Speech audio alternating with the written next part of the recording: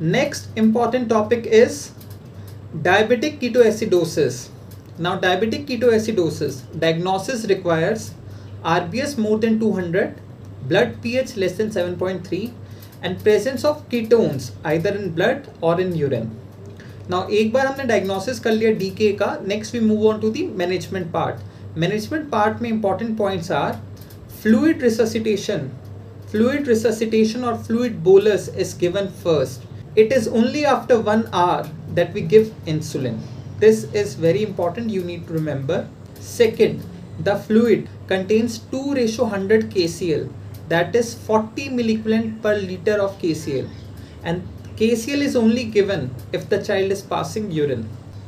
Also, we should avoid excessive fluid administration because that will lead to cerebral edema and always remember neuroimaging is not a priority in a patient with DK. First, we have to stabilize the patient.